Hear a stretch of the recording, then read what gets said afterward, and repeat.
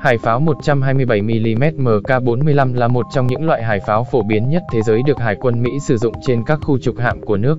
Này hiện nay, loại hải pháo này đã ra đời từ năm 1971 và tới nay đã có tổng cộng 4 phiên bản khác nhau. Pháo MK45 là loại pháo hạm 127mm nòng đơn của Mỹ được bắt đầu nghiên cứu chế tạo từ thập niên 1960 để thay thế cho mẫu MK42. Pháo MK45 được nghiên cứu thành công vào năm 1968 và được đưa vào trang bị từ năm 1971.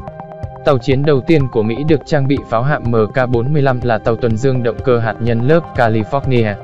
Đến nay MK45 được phát triển thành 4 biến thể, bao gồm Mod 0, 1, 2, 4.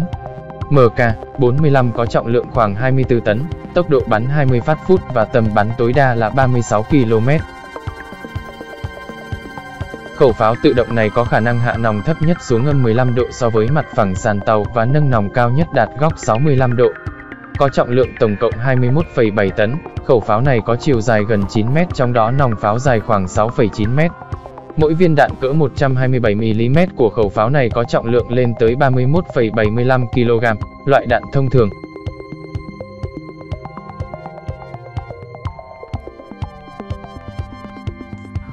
Tốc độ bắn tối đa của pháo lên tới 20 viên mỗi phút và có sơ tốc đầu nòng của viên đạn đạt tối đa 762 m giây. Tầm bắn hiệu quả của khẩu pháo này vào khoảng 24 km khi sử dụng đạn thông thường.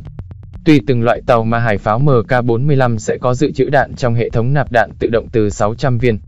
Lớp Ticonderoga ga lên tới tối đa 680 viên, lớp Arc Labor